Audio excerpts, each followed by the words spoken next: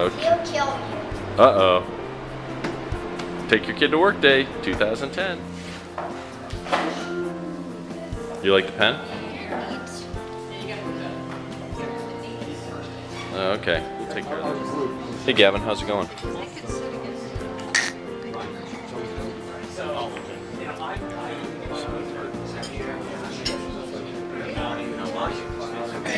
We actually, uh, there's an ex-Cisco's, Well,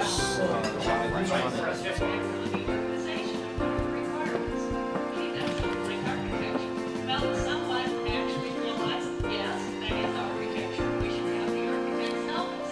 And IT, Edgar, which is sitting down at this table here, inherited the task of going through the open government directive, looking at all of the deliverables, seeing the various organizations Uh, you don't want me to look? Yeah. Okay, I won't look.